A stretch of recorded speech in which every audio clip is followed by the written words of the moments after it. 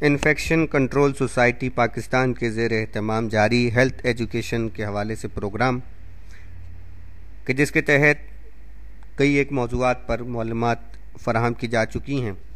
आज एक और मौजू, जो कि बहुत अहम मौजू है, उसके हवाले से कुछ मारूज़ात, कुछ गुजारिशात, कुछ मालूम आपकी समातों के अदालत में पेश की जा रही हैं और आज का मौजू है बच्चे और माहौल।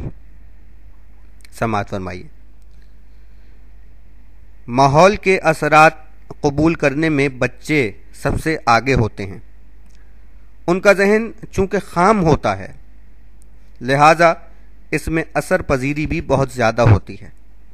यानी बच्चों का जहन एक साफ़ सुथरे कागज़ की तरह होता है कि जिस पर जो भी लिख दिया जाए आसानी से लिखा जा सकता है।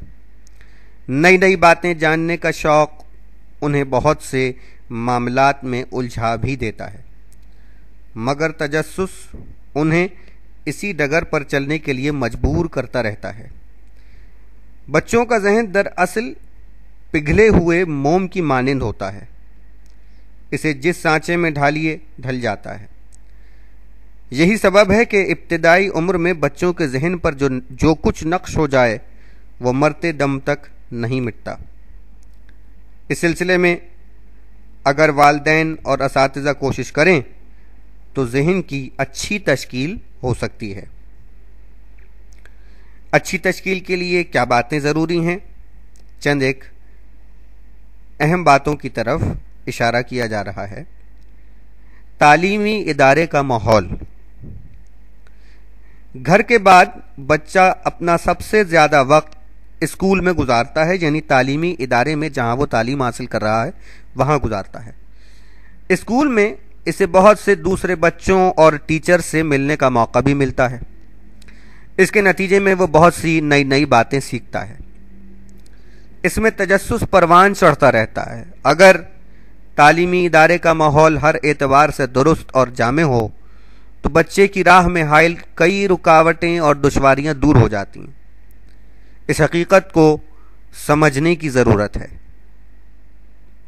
टीचर्स चूँकि उम्र और काबिलियत के एतबार से बच्चे से बहुत बड़े होते हैं, इसलिए वो उनमें अपना आइडियल तलाश करता है।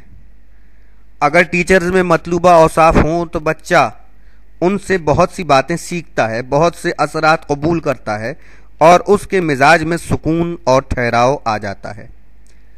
दूसरी तरफ़, अगर टीचर्स बच्चे के मैार पर पूरा न उतरते हों तो उसकी शख्सियत में इंतशार पैदा हो जाता है। उसके असरात, उसकी सोच और सरगर्मियों से वाजे हो जाते हैं। अगर टीचर्स में खामियाँ हों तो बच्चे में बहुत सी खामियाँ रह जाती हैं।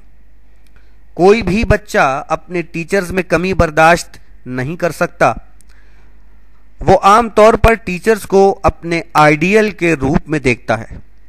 अगर आइडियल में खराबी दिखाई दे तो इंसानी जहन टूट फूट का शिकार हो जाता है। इसके साथ ही साथ एक और अहम बात, यानी ख़ानदानी हालात के असरात। भी बच्चों पर बहुत ज़्यादा असरात मुरतब करते हैं। ख़ानदानी हालात के हवाले से कुछ बातें। बच्चा अपने ननियाल और दधियाल के रिश्तेदारों में भी आता जाता रहता है। अगर बड़ों के दरमियान अनबन रहती हो, कशीदगी कम होने में ना आती हो तो लाजमी तौर पर वो इस सूरत हाल से मुतासर होता है। उसके जहन में गिरहें डलती चली जाती हैं और फिर वो चिड़चिड़ेपन का शिकार होने लगता है। खानदान के बुज़ुर्गों में भी बच्चे को अपने आइडियल्स की तलाश रहती है। अगर बुज़ुर्ग ही दुरुस्त अंदाज से ज़िंदगी ना गुजारें तो बच्चों के लिए वो क्या मिसाल कायम करेंगे? हकीकत यह है कि बच्चे के लिए सबसे ज़्यादा अहमियत बुज़ुर्गों के किरदार और आदात व अतवार की होती हैं। उसी से उनकी शख्सियत का सांचा मुतन होता है। अगर बुज़ुर्गों को लड़ने झगड़ने से फुर्सत न मिले तो वो बच्चों को किस बात की तालीम देंगे? याद रखिए कि बच्चे का जहन बहुत नरम नाजुक होता है। उसे किसी भी खिलाफ तो या खिलाफ मिजाज बात से धचका लग सकता है। तालीमी इदारे और ख़ानदानी हालात के साथ साथ मोहल्ले और इलाके का माहौल भी बच्चे पर असरानंदाज होता है। मोहल्ले और इलाके का माहौल किस तरह असरानंदाज होता है, इस हवाले से कुछ बातें समात फरमाइए। बच्चा हर वक्त घर में नहीं बैठ सकता। ज़ाहिर है कि बच्चों का जी चाहता है कि वो मोहल्ले में खेलें, बाहर सड़क पर जाके अपने दोस्तों के साथ, अपने हम उम्र बच्चों के साथ। स्कूल में पाँच छः घंटे गुजारने के अलावा वो गली में अपने दोस्तों के साथ खेलता है, इलाके में घूमता फिरता है। अगर मोहल्ले या इलाके का माहौल गंदा हो तो लाजमी तौर पर बच्चा बुरी आदत सीखेगा। अगर वालदेन इस मामले पर तवज्जो न दें तो बच्चे के बिगड़ने में ज़रा देर नहीं लगती। हकीकत यह है कि स्कूल के डिसिप्लिन और घर की थोड़ी बहुत सख्ती के मुकाबले में गली का माहौल बहुत नर्म महसूस होता है। इसलिए बच्चा इस माहौल को बहुत तेज़ी से अपने अंदर जज्ब करता है।